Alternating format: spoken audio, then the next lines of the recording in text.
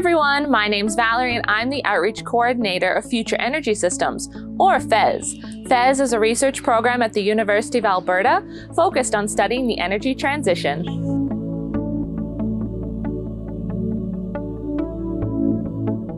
Thanks so much for joining us for Let's Understand Energy and the Economy. In this series of clips, you'll meet four researchers studying different aspects of the economics questions surrounding energy, from the cost of energy in the Northwest Territories to getting biojet off the ground, to use of tax refund policies to encourage habitat restoration, to life cycle analysis of land reclamation technologies.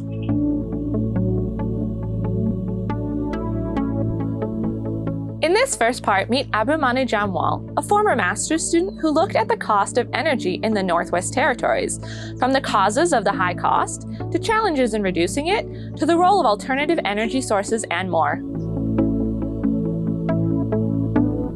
Hello everyone, I'm Abhimanyu Jamwal. I graduated from the University of Alberta in 2020 with a Master of Science degree in Urban and Regional Planning. My research studied the relationship between the cost of energy and homelessness in the Northwest Territories.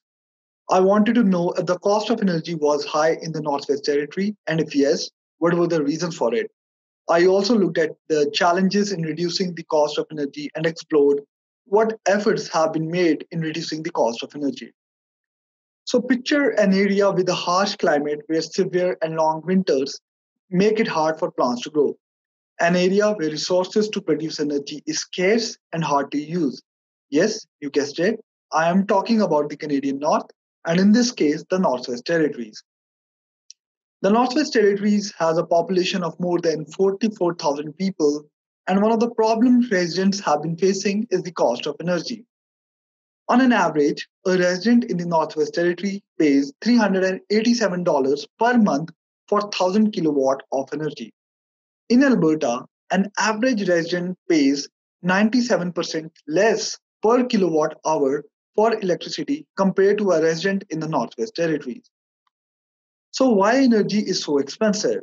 First reason is the transportation. In the Northwest Territory, around 57% of electricity is produced by burning diesel. But the diesel has to be transported by train from Alberta to the southern Northwest Territories. However, many communities in the Northwest Territories are very small and far from each other, only accessible by rivers or ice roads. When diesel from Alberta is unloaded at southern Northwest Territory, it is either transported to isolated communities through barges or to landlocked communities by ice roads. Due to a climate change, the roads are accessible for a short period, and sometimes roads are not able to bear the fully loaded trucks meaning more trips are needed with half-loaded trucks. All these transportation costs increases the cost of diesel, which is already changes a lot. The other reason for the high energy cost is the lack of economies of scale. An economy of scale means that when we produce more, we can usually produce it cheaper. However, in the north, whether a lot or a little electricity is produced by a diesel generator, the amount of skilled workforce required is the same.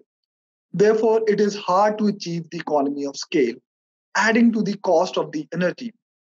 Moreover, these skilled workforces are paid higher salaries, which adds to the cost of energy. So, can we reduce the cost of energy in the Northwest Territory? Well, there are a lot of challenges, one of the critical challenges is that the Northwest Territory doesn't have the intergrid connectivity. Intergrid connectivity means a community X and community Z are connected to each other with high voltage power lines or wires. In that case, communities are able to transfer extra electricity to each other in times of need. Without intergrid connectivity, communities with access to cheap and extra electricity cannot share electricity with communities dependent on expensive source of electricity. So why can't we connect the communities together with the grid? The reason is the remoteness of communities, which increases the cost of doing work or business. In this case, supplying the energy from energy facilities to the homes. Additionally, the Northwest Territories has no connection with the North American power grid. So they can't sell the extra energy or access the cheaper energy from the grid. So, what are the options? The Northwest Territory has a long and sunny days in summer. So, can we use the solar panel to produce electricity? Well, there are challenges for solar energy as well. First, it can only be used in summers because winters are dark and daytime is limited. Second, to store the extra energy in summers, you will need batteries, and that adds to the cost of the project. Hydroelectricity, wind, solar, and biomass heating are the current alternative sources of energy used in the Northwest Territories. Hydroelectricity contributes around 37% of total electricity generated in the Northwest Territory. Yellowknife is one of the few communities that is dependent on hydroelectricity. And if the expansion of Taltson Hydro Project takes place, the cost of energy will reduce. Apart from hydro, there is solar energy, as discussed above, which is highly subsidized by the territorial government, which means they help pay for it. There are few communities in the Northwest Territory, such as Colville Lake and Fort Simpsons, who have installed solar facilities. In Colville Lake, solar panels are installed along with the batteries, which can meet up to 30% demand of the communities. However, solar contributes less than 1% of the total electricity generated across the entire Northwest Territory. Wind energy contributes around 2% of the total electricity produced in the Northwest Territories, and the private sector, such as diamond mines, are the major consumer of the wind energy as it mostly installed and operated by the private sector. However, wind and solar at present comes at a higher cost to most of the communities in territories when compared to diesel, and they are not considered a total solution for the energy problems of communities because they are intermittent source of energy meaning they are not there all the time. The biomass heating is another alternative used in the Northwest Territories at the local level, and it is used as a substitute for oil fired heating. Biomass heating is a process in which the wood pellets are burned to produce heat for space heating and hot water. The biomass heating system can help to save around 30 to 50% of cost compared to oil furnaces. However, biomass is not used for electricity production because a significant amount of energy is lost when converting it into electricity. Biomass generation is more expensive than diesel or liquefied natural gas generation. But it is but its environmental, economic, and social benefit overwhelms the operational cost. So I have discussed the reason for the high cost of energy, challenges with diesel and other alternative energy sources in providing the low cost electricity in the Northwest Territory. However, efforts are being made by the territorial government to reduce the cost of electricity, but more work is needed to explore ways to reduce the cost of electricity.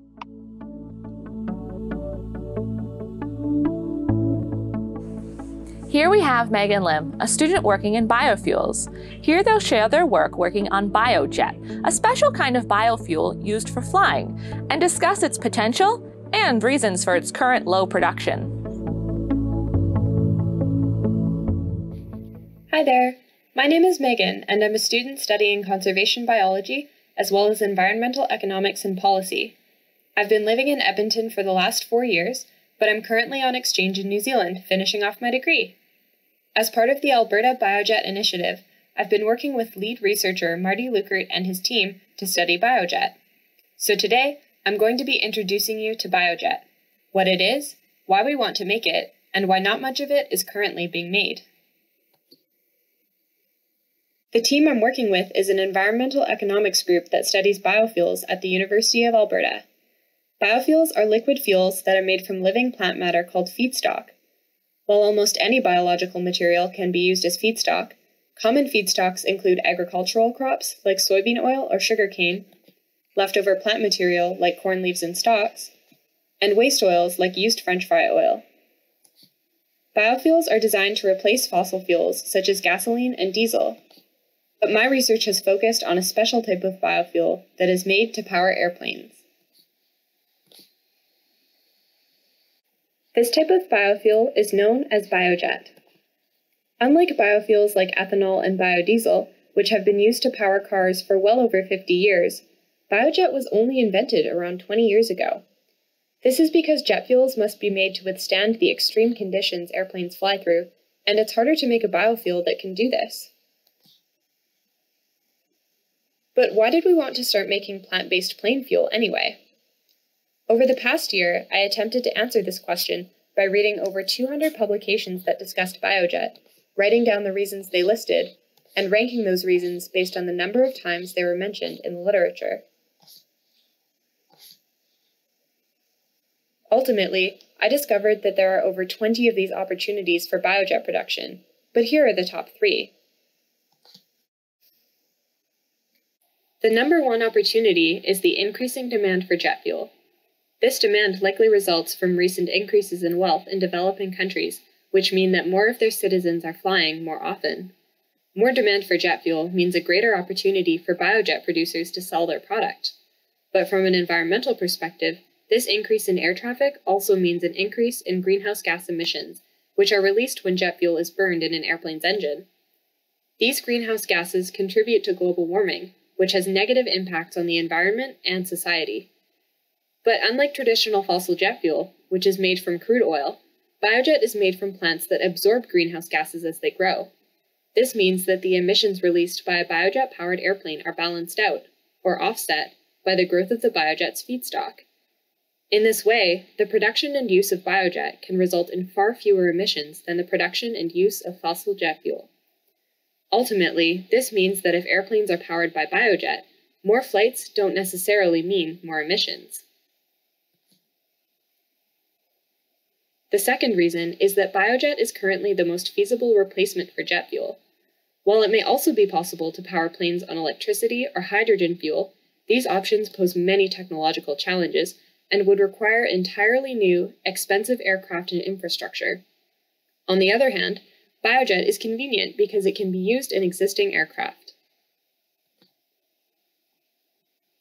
The third opportunity is supportive government policy. This includes carbon pricing mechanisms like the European Union's emissions trading system. Policies like this encourage biojet use by requiring carbon emitters to pay for the greenhouse gases they create. By flying with biojet, aircraft operators pay less money to the government because they've reduced their greenhouse gas emissions. There are also policies called blending mandates, which require a certain proportion of all fuel sold to be biofuel. One well known blending mandate is the United States Renewable Fuel Standard. In Canada, you might see the impacts of similar policies when you fill up your car with gasoline that contains 10% ethanol. But even though the vast majority of these blending mandates only require a certain proportion of ethanol or biodiesel, not biojet, Many authors think that they may still benefit biojet producers, since other types of biofuel are often made alongside biojet, and since biojet may still receive credits or count towards the proportions set in the blending mandates. But despite these important opportunities, biojet currently accounts for less than 1% of the jet fuel being consumed every year. There are hardly any commercial biojet producers, and many companies either started producing biojet then switched to other, more profitable products, or just haven't committed to building a full size biojet plant in the first place. So, why hasn't biojet taken off? This was the second question I was hoping to address. So, as I was reading all of those publications, I was also recording the reasons for biojet's lack of success. I found that biojet producers face over 40 different challenges, and here are the top three. As I'm sure you might have guessed, the biggest of those challenges is cost. Right now, it costs around two to four times more to produce biojet than it does to produce fossil jet fuel. This makes it really difficult for biojet producers to sell their premium priced product. The biggest contributor to this cost is often the cost of the feedstock. This is because in many cases, feedstocks like crop oils are already more expensive than fossil jet fuel. Another important cost is called the capital investment cost. This includes the price of the equipment needed to make the biojet, which can be very expensive since some production methods rely on extremely high temperature and high pressure equipment. The second biggest challenge to producers is feedstock availability, since most biofuels are made from crops and there is a limited amount of land and water to grow them on. For example, one author estimates that 12% of the Earth's cropland would need to be dedicated to feedstock production in order to satisfy the global demand for jet fuel. In addition, many other industries also require feedstock, such as the ethanol and biodiesel industries. Because these fuels are more profitable than biojet, their producers often use the majority of the feedstock, leaving very little feedstock for biojet. A third important challenge facing biojet producers is sustainability, since producers must make sure that they don't harm the environment or the people living in it while making biojet. For example, research shows that some types of biojet can actually create more greenhouse gas emissions than fossil jet fuel if forested areas must be cleared to grow its feedstock.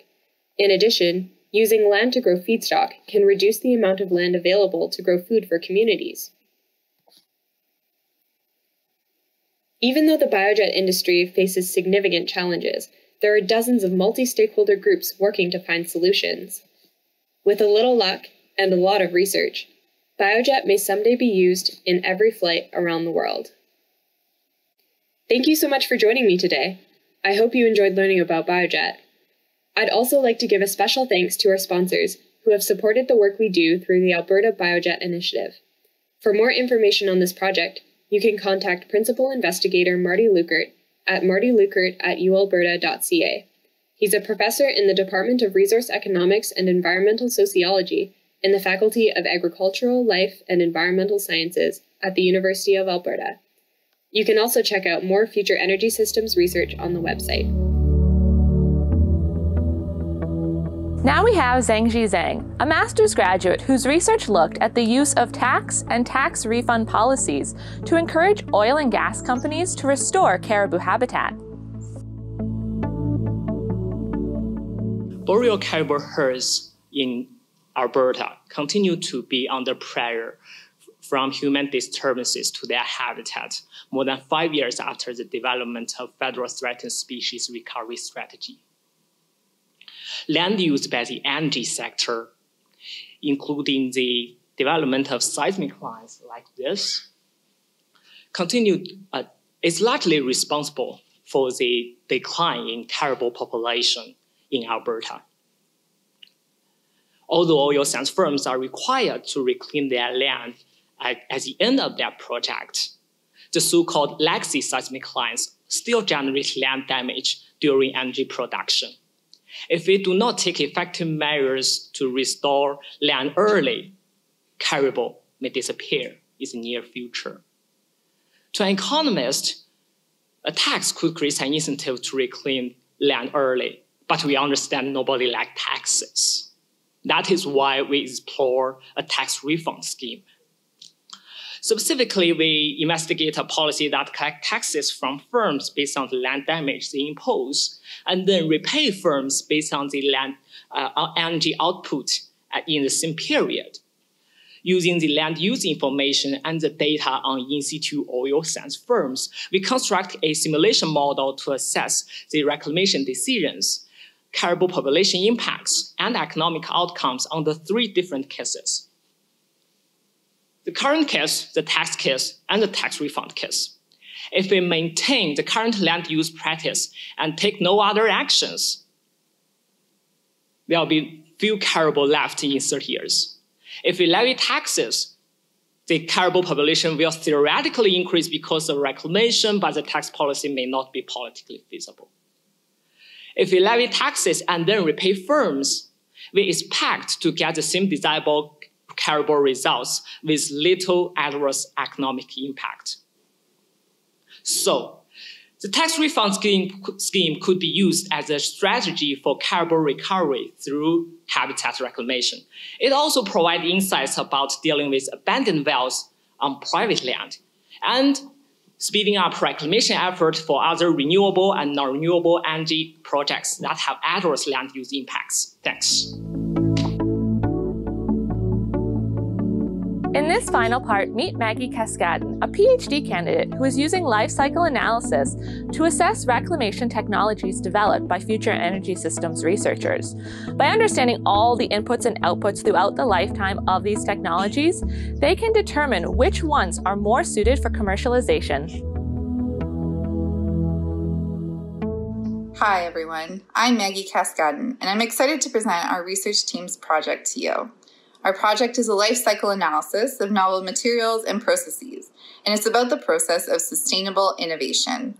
We're from the business school, so this project brings a business lens to the cool emerging technologies that other researchers are developing within the Future Energy Systems research program.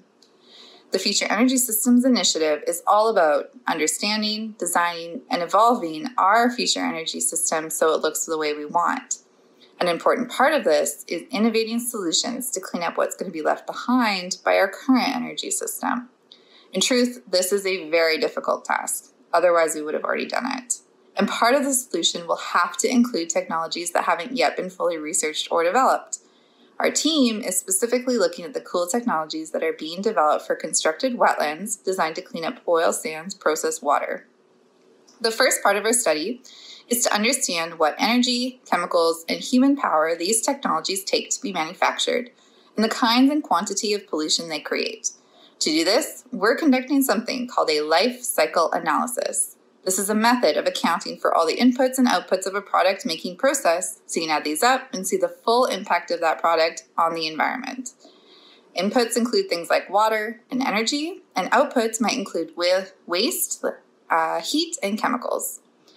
This is what it looks like for one of the technologies biochar. And as you can see here, there are many steps and it's quite complicated. If you look at this other novel technology based on chicken feathers, it's even more complicated. The life cycle analysis software can generate estimates of material usage and waste products based on an inputted version of these maps. And it's important to conduct these kind of analyses so that we know the impacts of the technologies we're creating. That's our first major goal. After all, these technologies are not going to help us create the kind of future energy system we want if their production causes a worse environmental impact than what we're trying to clean up. In addition to all that, it's important that these technologies are economically viable if we want them to be real solutions that we can actually get out into the field and adopted by industry. So, the second important part of our project is to identify which of these technologies have potential to be commercialized. Once we understand the life cycle of the new technologies, we can understand how much they're going to cost to produce. Our goal for this project are threefold. First is to identify which technologies are going to be the most beneficial for oil sands process water cleanup. Second is to identify which technologies are economically viable and commercializable. And ultimately, we want to help scientists and engineers who are working on the best technologies get their work out of the lab and into the field. Thank you. Thank you for joining us to start better understanding energy and the economy. Make sure to subscribe to Future Energy Systems YouTube channel so you don't miss any of our exciting content and check out the links below. There's so much to learn as we explore our energy future